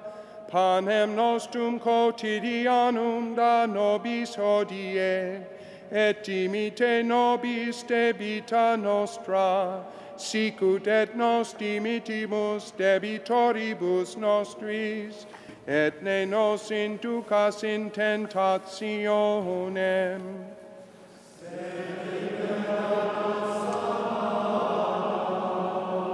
the subdeacon who has been holding the paten, the, the precious golden plate upon which the host is placed, he's been holding this patiently at the foot of the altar up until this point since the offertory returns the paten to the altar and it is placed under the host. This is a reminder of the practice in the early church whereby in Rome a small particle of the host from the celebration of the Pope's Mass was, was carried with great reverence to other celebrations of the Mass and so expressive of the communion, the ecclesial communion of the Church, as made manifest in the celebration of the Mass.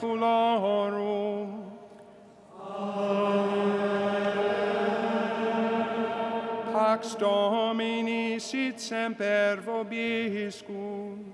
So a tiny portion broken from the host is dropped into the chalice of the precious blood, and this uniting of the body and blood of Christ reminds us that in our Lord's resurrection, not only were, were his body and soul reunited, but also we have the great hope of eternal life.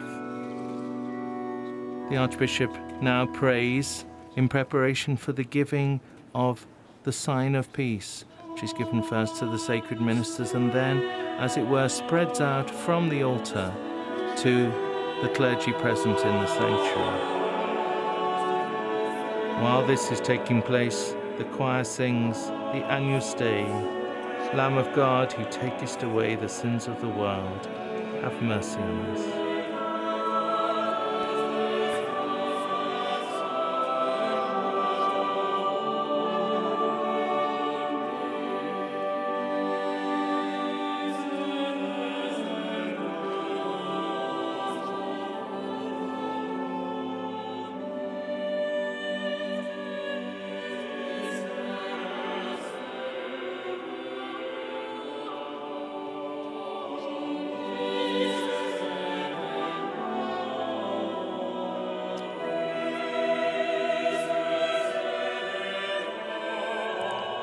It's hard to underestimate the splendor with which the, this music was regarded in the 16th century.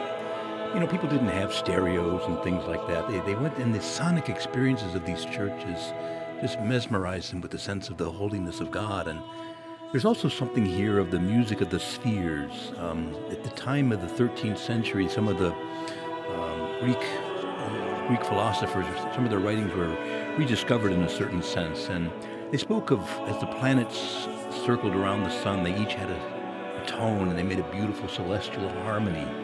And this music of the spheres is what Renaissance polyphony is uh, sort of emphasizing. It's a, it's a, so it's, it's the cosmos and the whole of all creation singing in harmony to God. As this beautiful Agnus Dei continues, the, the Archbishop himself receives Holy Communion. He's just prayed, Lord, I am not worthy that thou shouldst enter under my roof, but only say the word, and my soul shall be healed.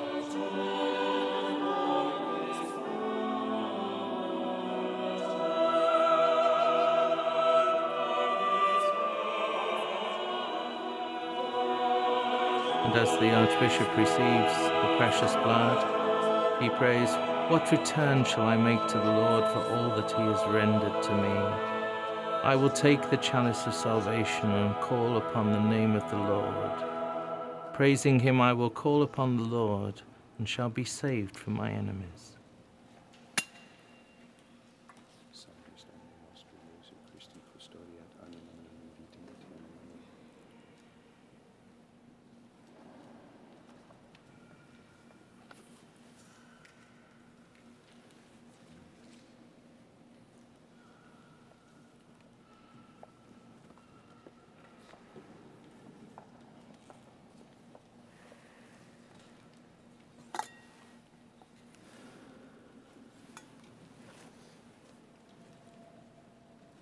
The Archbishop now turns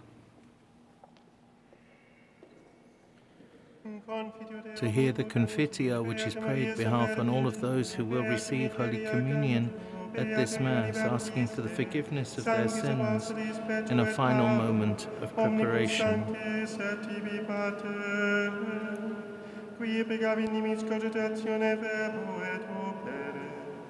Me culpa, me culpa, maxima culpa. Idio preco beat Mariam semper virginem, beat Micerem arcangelum, beat Ioannem Baptista, sanctus apostolus Petrum et Paulum, omnes sanctus et pater, orari pro mea Dominum Deum, Miseriata vestri omnipotens Deus et dimissus peccatis vestris producat vos ad vitam aeternam. May Almighty God have mercy on you, forgive you your sins, and bring you to life everlasting. May the Almighty and merciful Lord grant you pardon, absolution, and remission of your sins. Behold the Lamb of God. Ecce agnus Dei, ecce qui tole peccata mundi. Domine non sum dignus vitres et tectum meum, sed tantum de verbo et sanabitur anima mea.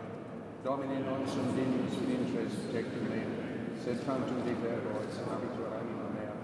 Domine non sum dignus vitres et tectum meum, sed tantum de verbo et sanabitur anima mea.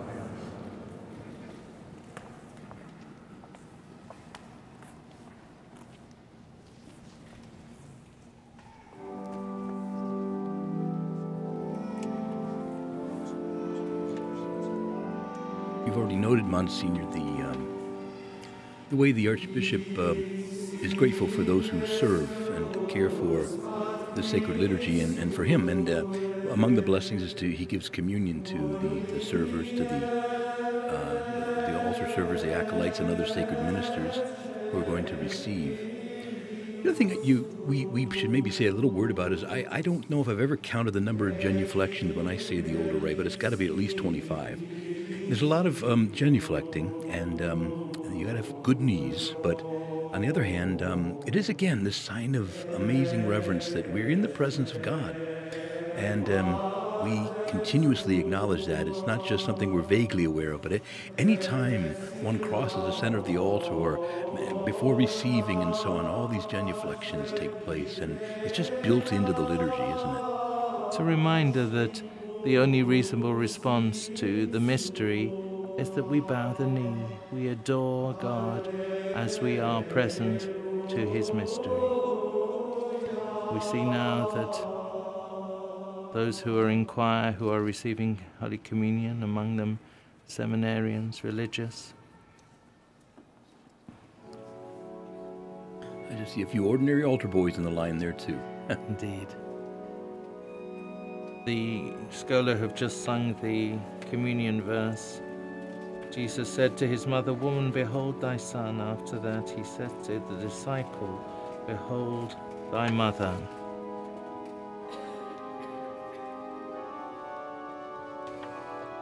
A couple of other, th- uh, maybe items of gratitude here that we might want to say. That first of all, I hope that you can see the kind of training and care that the sacred ministers um, exhibit. This this requires a great deal of holy learning, a kind of theology on the knees, and um, so much care and training is is is needed, and and yet they they undertake this. I'd also like to at this time give special thanks. This liturgy is really made possible uh, through the Paulus Institute. It's a group of um, benefactors who uh, uh, underwrite the cost of these liturgies, uh, which is not insignificant. And um, you're encouraged uh, to be to be as generous as you ever can to them. Um, if you've enjoyed this, uh, to you'll certainly uh, see references, uh, but they can always be reached at the paulusinstitute.org, all one word, the paulusinstitute.org. And these are a group, as I say, of um, benefactors who love this liturgy and want to see it flourish. And um, they, they have uh, underwritten the cost today. During the distribution of communion, the choir will sing Caro mea veres cibus by Pierre de Manchicourt. My flesh is true food and my blood is true drink. And the setting of the Corpus Christi text, O Sacrum Convivium, O sacred banquet wherein Christ is received, by the English 16th century composer Thomas Tallis. Then we will hear two Marian texts, Beata es Virgo Maria, a setting by Vincenzo Ugolini for 12 voices, and the Magnificat for eight voices of Luca Marenzio. And we'll note here that communion is received on the tongue and kneeling, and the chin patens are used. All of these again showing great care uh, for the sacred host of our, the body of our Lord, that nothing be lost or dropped. And also, again, just the reverence that kneeling is itself.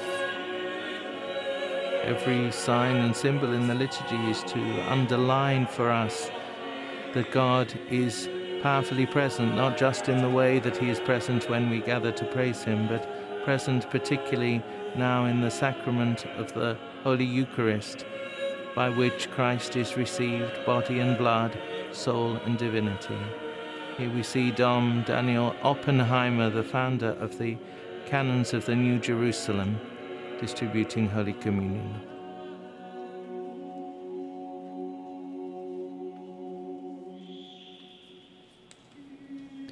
Is a longer form. In the newer rite, it's simply said the body of Christ, and one responds, Amen. Whereas in this rite, uh, Corpus Domini Nostri Jesu Christi, custodi animam tuum in vitam aeternam, may the body and the blood of our Lord uh, guard your soul unto life eternal. And the priest also provides the Amen. Kneeling to receive Holy Communion also affords everyone a moment of preparation before they receive communion and a little moment of, thanksgiving before they return to their place.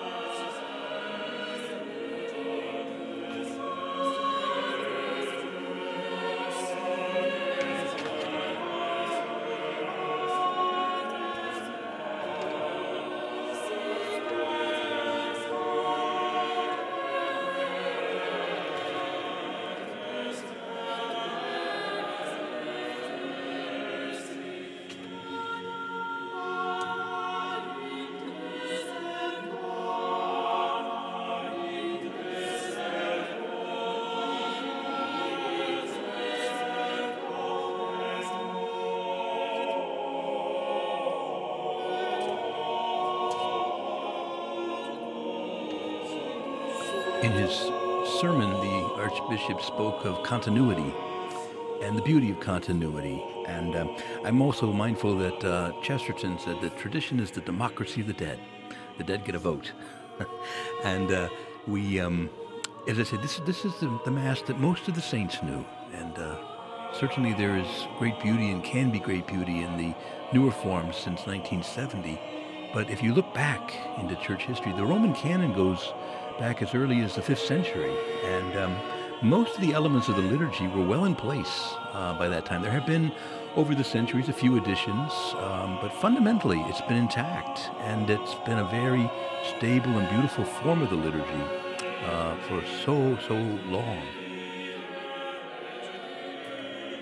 It's also a powerful reminder to us that the liturgy is something which we receive as a gift from the church. It's not something that we make for ourselves, and is perhaps the most powerful way in which we ourselves participate in God's life, the greatest channel of God's grace to us.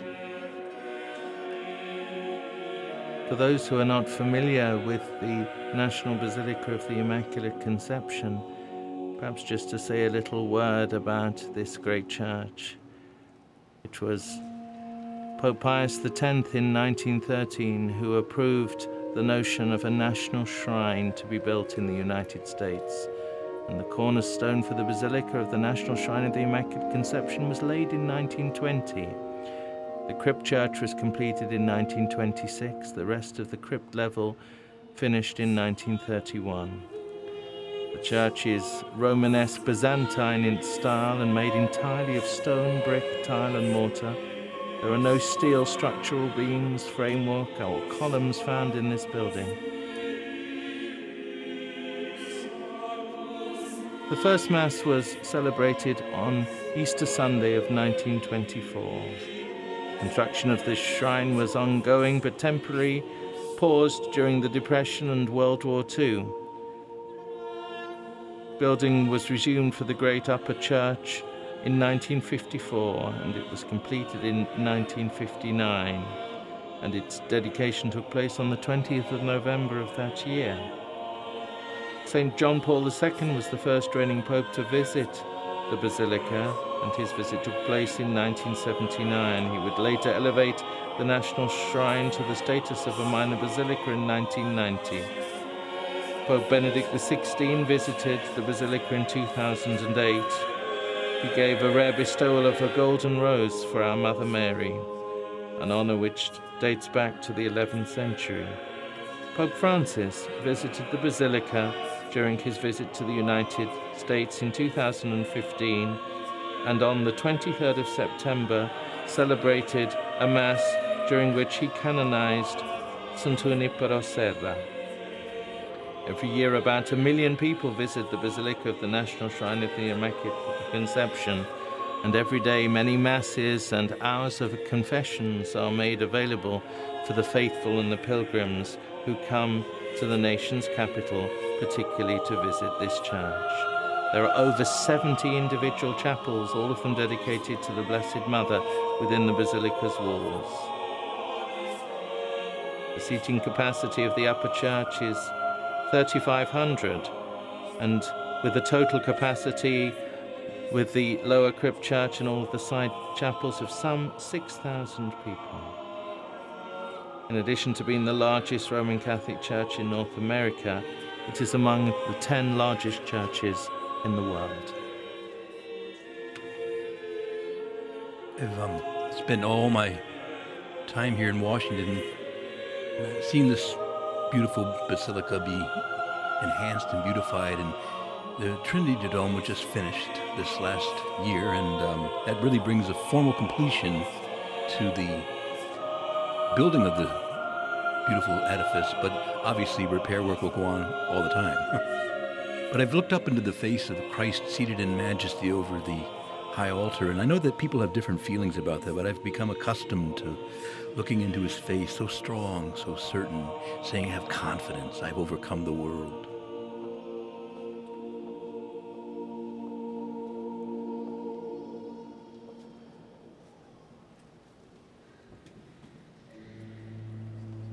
Many As the many faithful who are present at this Mass approach the communion rail to receive Holy Communion, perhaps it's an opportunity for those of us who are participating by watching this Mass on television or through internet, internet transmission to ourselves to make an act of spiritual communion.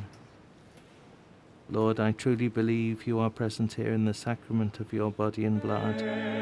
I adore you with profound reverence, and though I cannot receive you in Holy Communion, I ask you to come at least spiritually into my soul.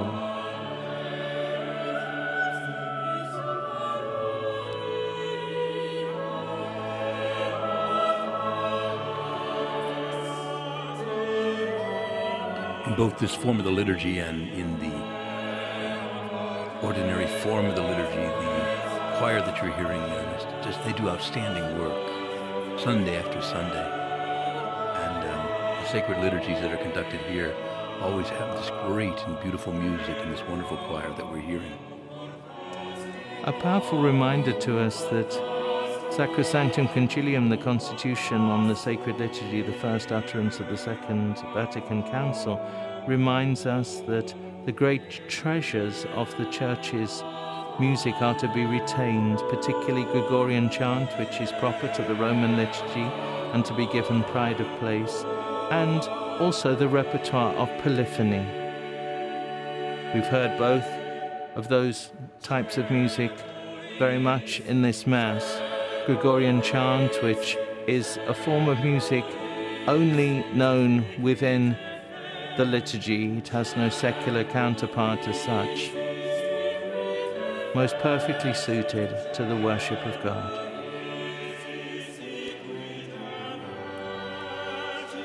There's an additional purpose to the altar rail. It's not only a place to kneel and receive communion, but it also demarks the sanctuary from the main nave or body of the church. And some of our newer churches have had poorly set this forth. Uh, a rail wasn't uh, simply uh, simply the place, but it did say, well, this is the this is the part of the church where where the holy sacrifice is done with the priest and the sacred ministers, and it's sort of the Western version of the iconostasis. And as I say, I think that in, in some ways we need to recover that more in our churches today. You're absolutely right. It is the iconostasis. It just became rather low as a screen in the West, but it does, as you say, mark the demarcation of the altar and its precincts from the rest of the church. The ancient idea being that the altar represents heaven and its life, and that we pass in the liturgy from the life of this world to the life of heaven.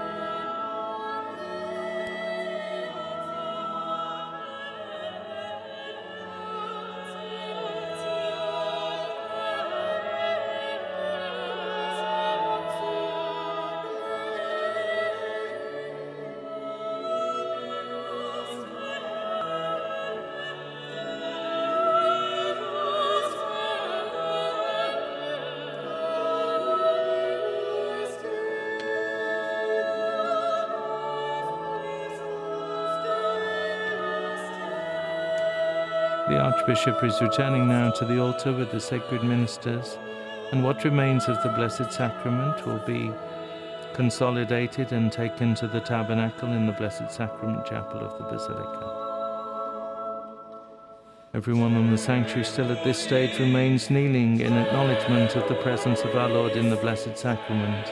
Only when the last vestiges of the Blessed Sacrament have been removed from the altar will people sit or stand. You may have noticed that the as he went up the steps, the care with which the uh, deacons assisting him lift his um, his uh, alb lest trip. And uh, again, just an act of charity, but also again a great sense of reverence for the fact that the archbishop represents Christ, the high priest.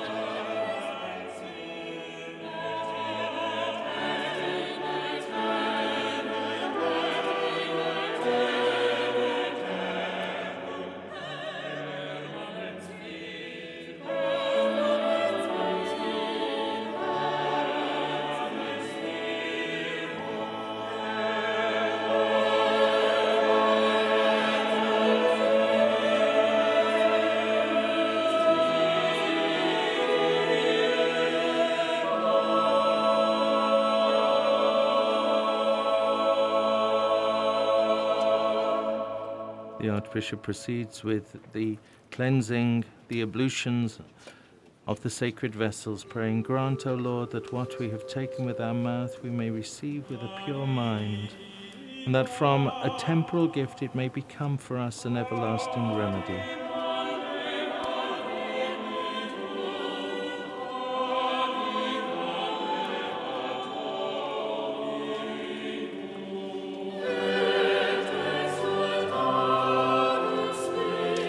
Place of the tabernacle is generally to be favored on the altar of a parish church. Um, in a large basilica like this, it, you'd almost need binoculars, you know, and um, it, since many people are passing through, it, it, makes some more sense in a setting like this to have a special chapel reserved. And there is a beautiful chapel just off to the side, the Blessed Sacrament Chapel, where the Eucharist is reserved. It's also an ancient notion in the church that the Blessed Sacrament is not reserved on the altar in which a bishop celebrates. So even if there is a tabernacle, the instruction is that the tabernacle is emptied for the celebration of the bishop's mass. We retain that for the Holy Thursday, even for priests on Holy Thursday.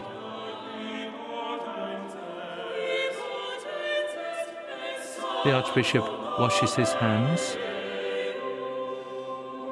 as the conclusion of the ablution and the cleansing of the sacred vessels comes now to an end.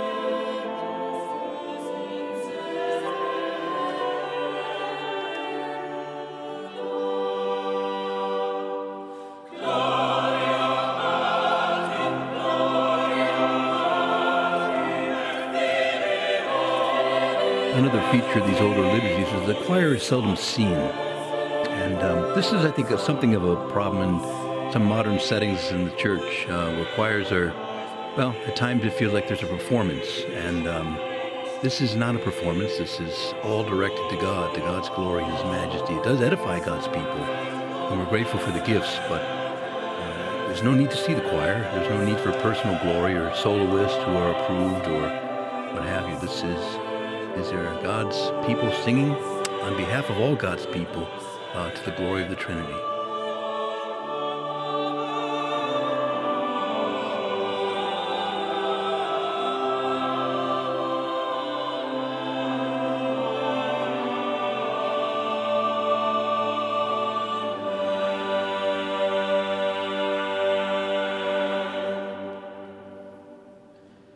The Archbishop reverences the altar and greets the people.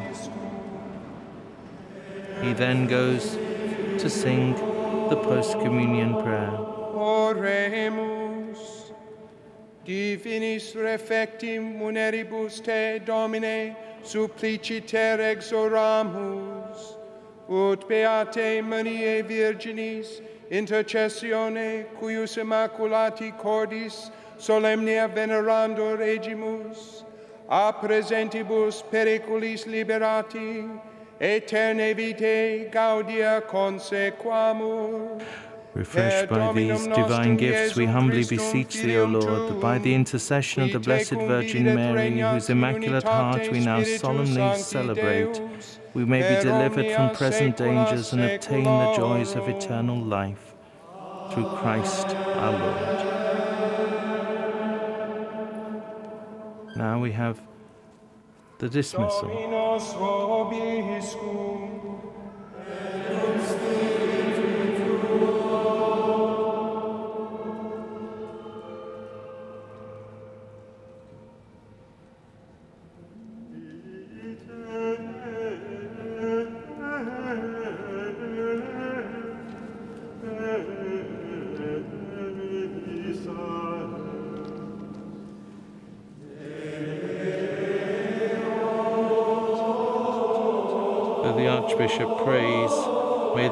Performance of my homage be pleasing to thee, O Holy Trinity, and grant that the sacrifice which I, though unworthy as I am, have offered in thy sight, may be acceptable to thee. And he imparts the blessing, which is given pontifically in its most solemn form, for which he receives the mitre and the crozier. Sit nomen Domini benedictum.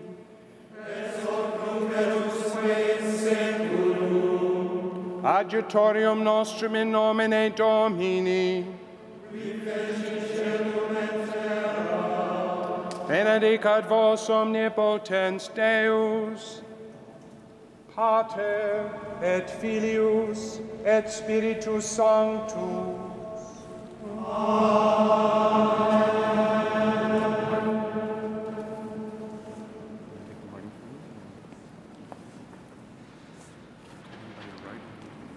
The older form of the Mass concludes with the so called last Gospel. The reading, in the case of a sung or solemn Mass, quietly of the prologue to St. John's Gospel. In the beginning was the Word, and the Word was with God, and the Word was God.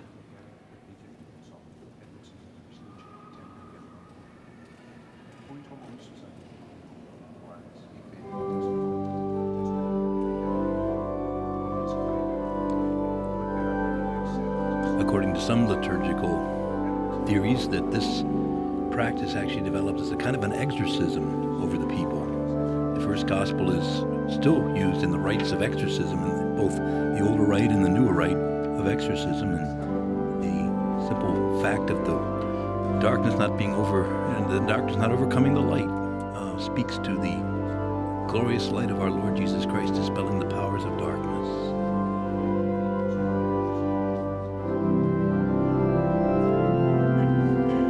Also reminds us that we experience the effects of the incarnation in the celebration of the holy sacrifice of the Mass, where Christ is truly made present in our midst by the proclamation of his word, but in a most glorious and sublime way by the presence of the sacrament of his body and blood.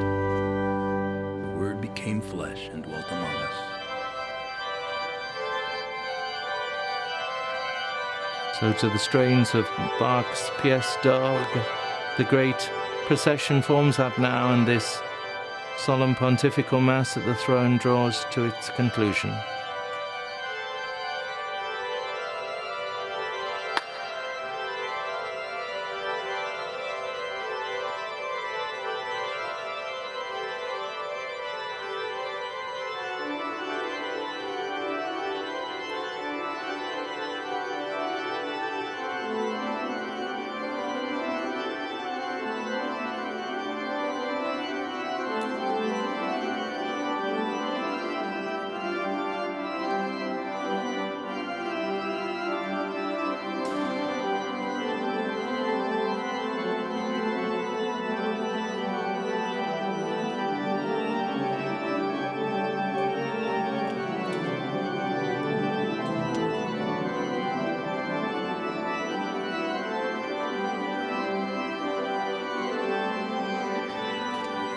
To uh, certainly, while this procession forms to head out of the church, make some thanksgivings.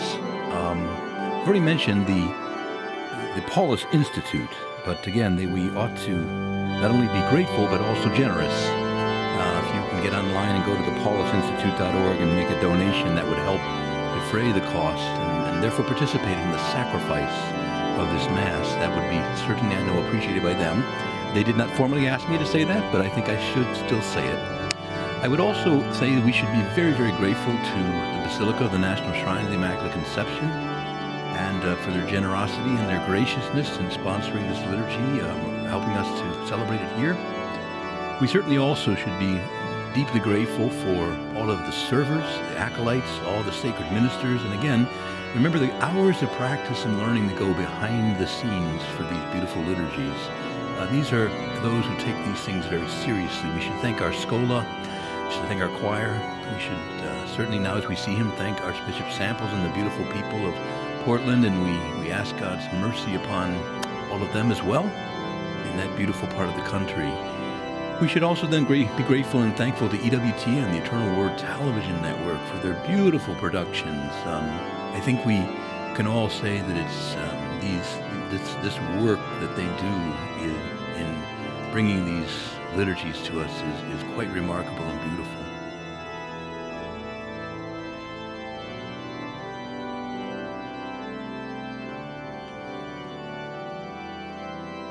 So the clergy who have assisted in choir are now leaving the sanctuary in procession. Among them, seminarians and members of various religious communities from Washington and further afield.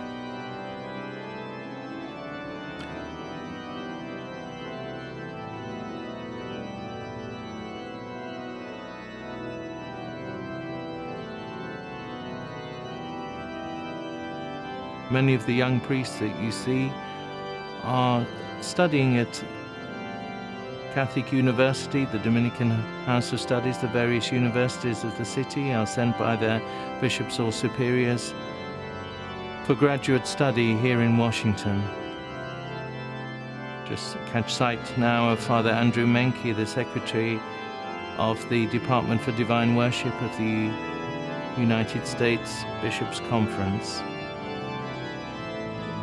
catch sight of a, a prelate at the end of the procession. He is called Bishop Anthony Spinosa, proto-presbyter and rector of the Basilica and National Shrine of Our Lady of Lebanon, of the Maronite Catholic Eparchy of Our Lady of the Lebanon, North Jackson, Ohio.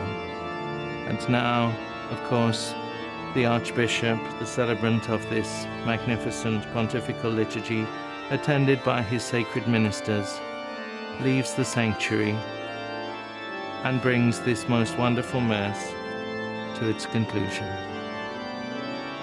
I certainly want to thank you, Monsignor Wadsworth, and say a little bit of a word. You also uh, are a member of the Oratorian community here, St. Philip Neri here in D.C., and let's pray for your great work here and also in your work with ICEL, the International Commission of English and the Liturgy. You've done wonderful work in helping to restore more accurate translations, and that's a hard work and at times very controversial. But you've done great work, and I'm certainly, certainly most grateful for it. Monsignor, thank you for your encouragement. It's been a complete pleasure to, to be involved with this wonderful occasion, and let's pray that through the sacred liturgy, the Lord will, will be more greatly loved and understood, and that the message of the gospel through the truths of the Catholic faith may be proclaimed more effectively to the people of our time.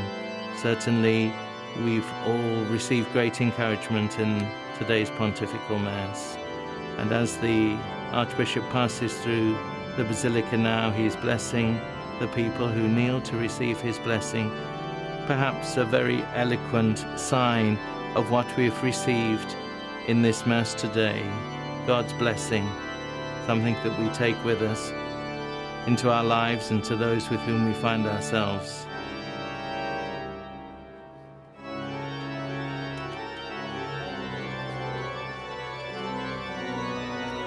There's that great Christ in glory. If you look carefully at his eyes, they're a little bit different. One's stern on the on the uh, on the right side, and the other is, is the other is, is the other is open, more gentle. That's very common with Eastern iconography.